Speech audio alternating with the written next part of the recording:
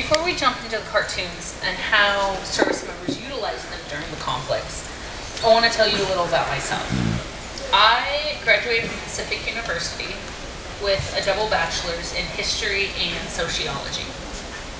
After taking a year off, I got accepted to Hawaii Pacific University into their military and diplomatic studies program. During one of my classes on aviation and air power, I had no idea what to write my final paper on. So after talking to the professor, I wanted to do something on culture. And he said, why don't you look at the artwork that surrounds planes? I took that as, let's look at artwork in planes. So I Googled it, and nose artwork came up. So, eight years later, my second book is coming out in May, and it went from a class paper of 10 pages to my master's thesis and the book. While at Hawaii Pacific University, I worked for the Joint POW MIA Accounting Command on Hickam Air Force Base. And I was a historian there. And what we did was we repatriated and identified missing and killed service members from all the conflicts, from World War I through Afghanistan and Iraq. Uh, the newest or the most recent one was Speicher from the Gulf War. Also, I was the family readiness leader for my husband's family readiness group when he deployed to Iraq with the 209th Aviation Brigade out of Wheeler Army Airfield. So uh, that's my story.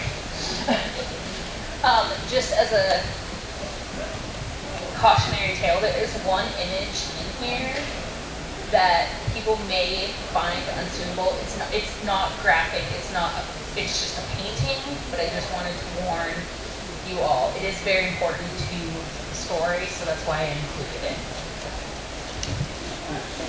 it.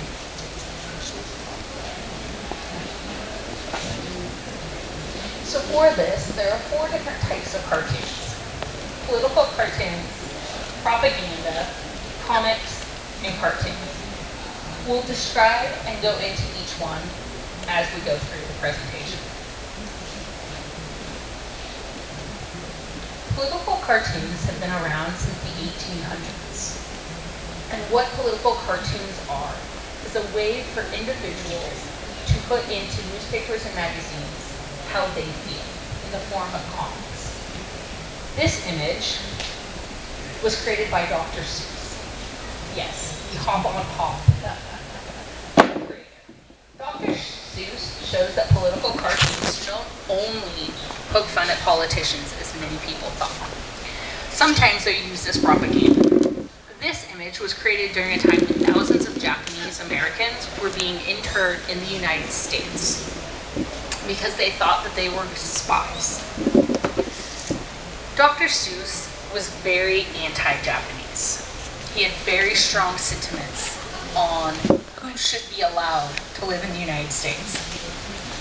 This particular image was just one of a collection of anti-Japanese political cartoons that he created.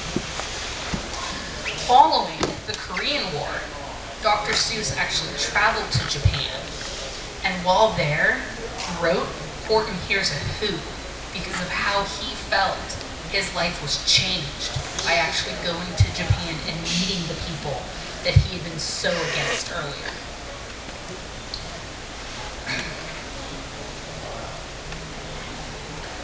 Propaganda was usually in the form of posters or movies or speeches. And what propaganda was, was a message that really tore at the people.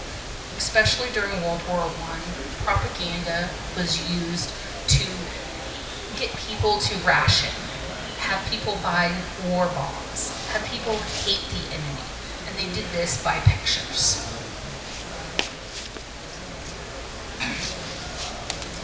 This piece of propaganda was due to the Japanese living and having bases. They believed that Alaska was going to be the final frontier for the Japanese and that they would never get onto the continental United States. So that's why they said it's the death trap for the Jap. Also, if you notice, the Japanese are a rat. This was very popular during World War II to depict an enemy as a rat or a monkey or somehow make them an animal and therefore not worthy of the same belief that you would treat another human being. the Roadrunner is running towards the Japanese with the saying, got no time for yips or yaps, on my way to lick the Japs. This image was not only used a lovable character that people could connect to, but also declared to all those who saw this plane that they were going to single-handedly win the war. The Japanese were not the only enemies that were considered rats. Here is Adolf Hitler on the side of a B-17 being depicted as a rat. In fact, the plane's name is the Eradicator. This B-17 was going to be hit, get Hitler and be his final demise. This was not the only plane that had anti-Hitler imagery, but we'll get to that in a little bit. Comics. Comics are comic books and comic strips that are found in newspapers and magazines. It's a bird. It's a plane. No, it's Superman. In June 1938, the world was introduced to Superman in Action Comics number one. Action Comics was the first true comic book and was very popular among children and young adults. With most service members or young adults, it's no surprise that they immediately connected with this character. As you can see from the World War II B-17, also known as the Flying Fortress, it did not take long for the service members to become interested. Superman comics did not end with Action Comics. In fact, it has spawned over 10 different sidelines, merchandise, TV shows, movies, has become a force that continues today. This time, Superman is coming to rescue everyone on a B-24 during World War II. Whether it was young men, planes, and nose art, there was going to be superheroes. Here's Superman 2, named after original World War II Superman, protecting the world from the side of a KC-135 that was deployed to the Saudi Arabia during Operation Desert Storm. When you think bats, you automatically think Batman. But bats have been on the side of planes since World War I. For the 185th Night Pursuit Squadron, they saw bats as protectors. They painted all of their Sopwith camels with bats to assist with not only their nighttime flying, but also to be nimble and quick. A lot of people, a lot of pilots and crew believe that what you painted on your plane was your plane. So if your plane wanted, if you wanted your plane to be fast, you painted something fast on it. They believed that your entire plane was a part of you, and therefore the painting was a part of you. The first bat to be used as official insignia was by the United States Navy Observation Squadron, which was placed into service circa 1923. This unit was originally outfitted with the Corsair, which was believed to be not blind as bats at night.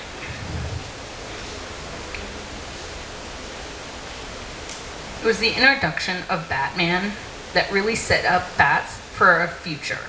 Batman was first introduced in Detective Comics number one in 1939, so right after Superman came out. Even though Batman was a superhero, he wasn't Superman and didn't see as much plane time as, uh, as Superman did. Come to think of it, there are many images of bats So did Batman introduce bats on planes, or did the bats on the planes actually influence the creator of Batman? This fighter jet, with the recognizable black bat on yellow background, saw over 45 missions in Desert Storm and was crew chiefed by Tech Sergeant Kevin Patnoid. He said that the reason why he asked for Batman to be on the side of the plane was because he grew up reading Batman and he felt that he had a connection with him.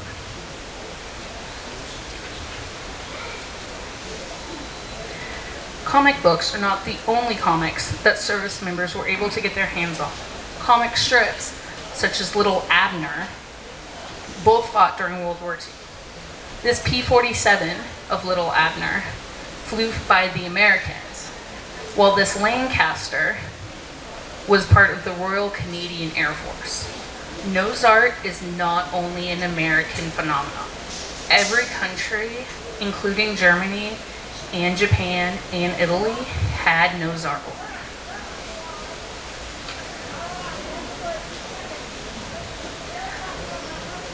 So a little about Little Abner and why he was so popular. Little Abner debuted in August 13, 1935, 4, and ran for 43 years.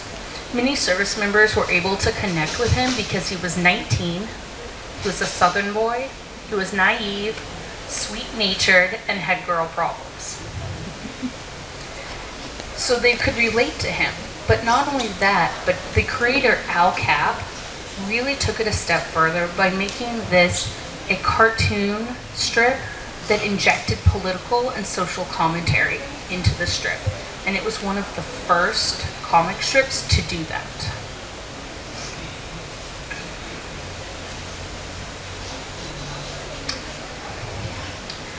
Yes, Snoopy on the front of a plane. This is not the only one. In fact, Snoopy is one of the most recognizable images as nose artwork when talking about cartoons. But do you know why? During World War I, Germany had a fighting ace by the name of Manfred von Richthofen. He was the leader of the Luftwaffe 11, otherwise known as the Flying Circus. And it was called the Flying Circus because Richthofen painted his entire plane red. Being that he was a ace and having a red plane, they called him the Red Baron. So when Charles Schulz, Snoopy and Peanuts creator, decided that he needed an enemy for Snoopy, he decided on the Red Baron, a very recognizable individual and a perfect adversary for little Snoopy to be flying his doghouse towards. Because of their respect for Charles, this Snoopy from Vietnam was actually given, the crew was actually given permission by Charles to paint. And Snoopy was an official military insignia for a fighter squadron after they asked Charles.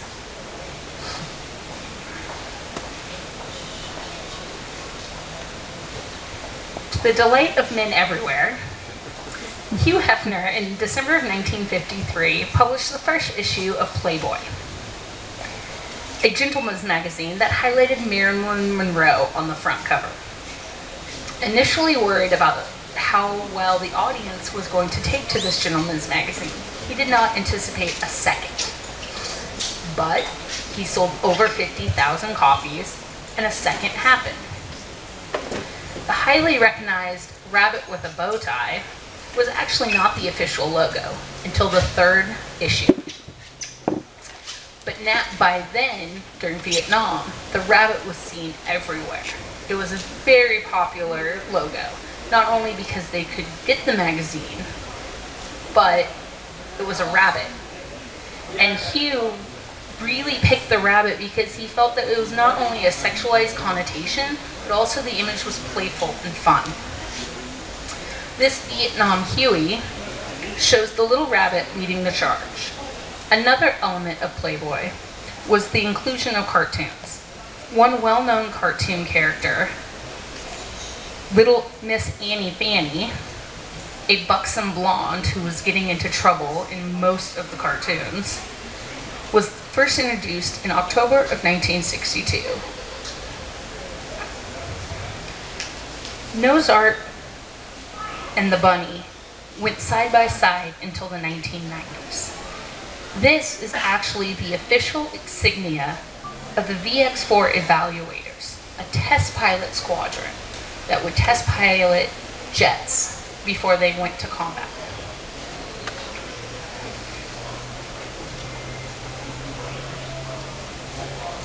Essentially, all cartoons can be traced back to one man. In 1901, a young man was born in Illinois. By 1911, his family had moved to Kansas City, Missouri, and soon after that, he dropped out of high school to join the military. Being only 16, the military rejected him. So, what did he do? He joined the Red Cross and was soon shipped to France to be an ambulance driver. While working in France during slow times, he would draw. After a year commitment, he returned home and with his brother saved up enough money to move to Hollywood. In 1925, his first character was stolen. But he persevered and created a second character, one that no one would ever forget.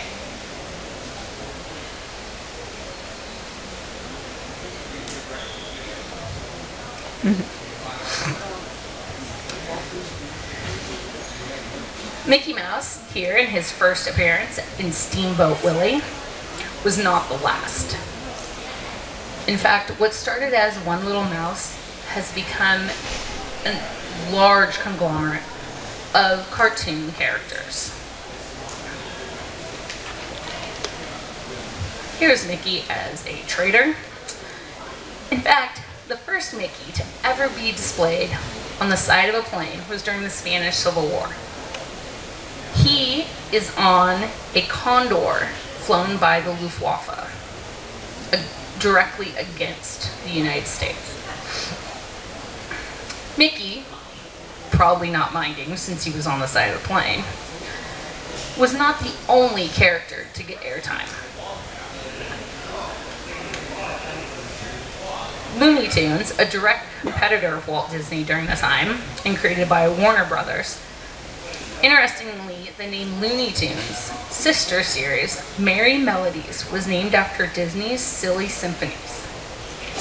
One main character of Looney Tunes was Elmer Fudd, a hunter who could not quite track down that rabbit, no matter how hard he tried. On this B-24, the upper one, meat around the corner, Elmer Fudd is the victorious hunter with his shotgun and his kill for the day, a strip of bacon. However, that was not the original picture. And this goes to show this is how the troops felt.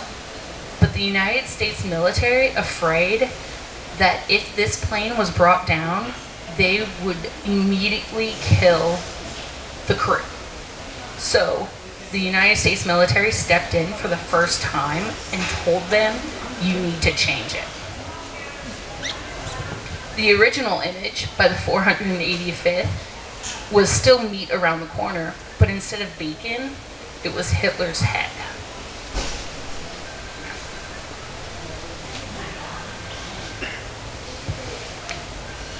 Right after World War II started, a young deer by the name of Bambi hit the big screen.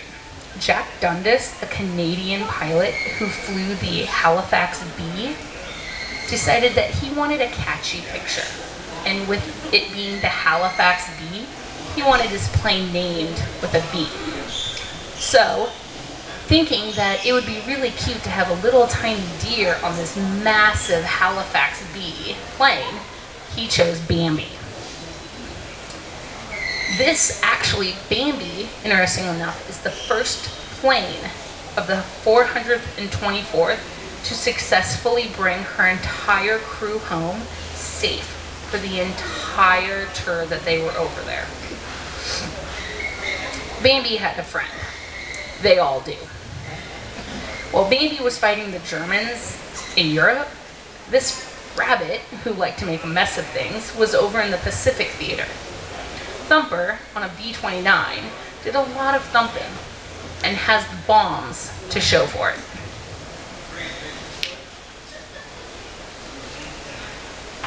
Ah, Mickey. This time with Betty Boop, flew on the side of a German Messerschmitt.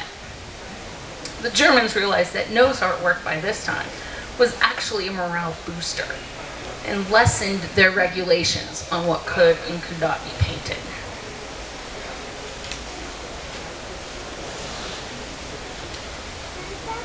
In 1948, the movie Command Decision starring Clark Gable was released.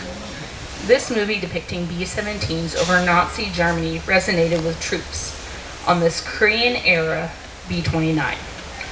During the Korean War, there was believed to have been miscommunications, and some troops felt they were not getting the information or the direction they needed. This artwork summed up how some felt, and the crew aptly used two of the seven dwarfs from Snow White to really bring the idea home that no one really had an idea what was going on.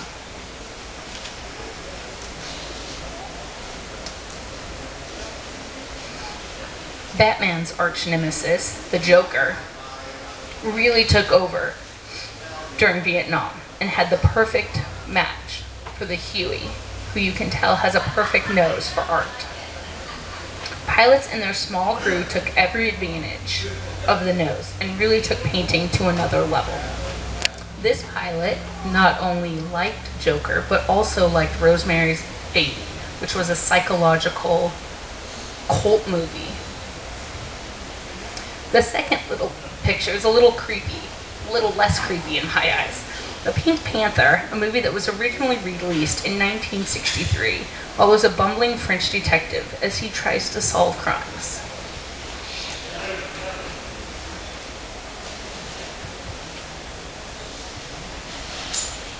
Debuting in May 1984, the Teenage Mutant Ninja Turtles was a group of four turtles who were nuclearly who were exposed to nuclear radiation and therefore became Ninja Turtles.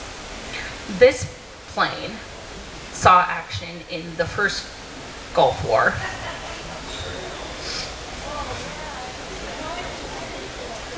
Here's another plane that fought in Operation Desert Storm.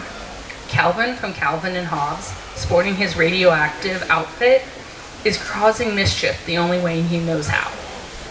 The only thing missing is his stuffed tiger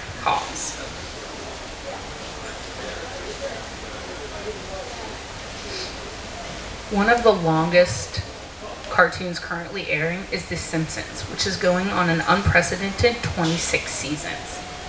That rivals almost every cartoon figure that we have talked about, with the exception of Batman and Superman. From humorous to downright political, The Simpsons have never strayed away from speaking what's on their minds. This image, another plane that flew in Operation Desert Storm, assisted the armored forces of the 7th Corps during one of the most decisive battles of the Gulf War, the Battle of 73 Easting. Bart here is saying Tawakalna dude, followed by a bomb blast. Bart is also standing on a bomb that says anti-tape. The Tawakalna division was an Iraqi Republican Guard unit that was equipped with tanks, among with other armored battle maps. This was the battle that changed the tide in Operation Desert Storm.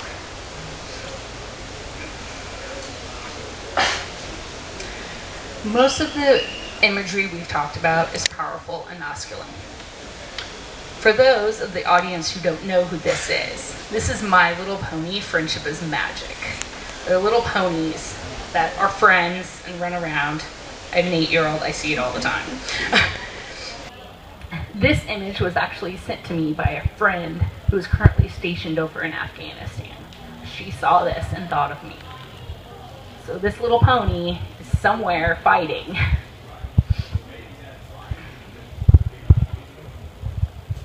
So what does the future hold for nose art? As long as we have planes in the air in an offensive or defensive position, there will be nose art. The, this Oregon National Guard jet is one of the entire squadron that played homage to Oregon. This one is Portland with a skyline of Mount Hood and a rose. There's also Pendleton, Ashland, Eugene, Seaside. I would like to thank you all for attending my presentation. I will open the floor to questions. And I have another presentation at 1 talking about how culture has affected nose art.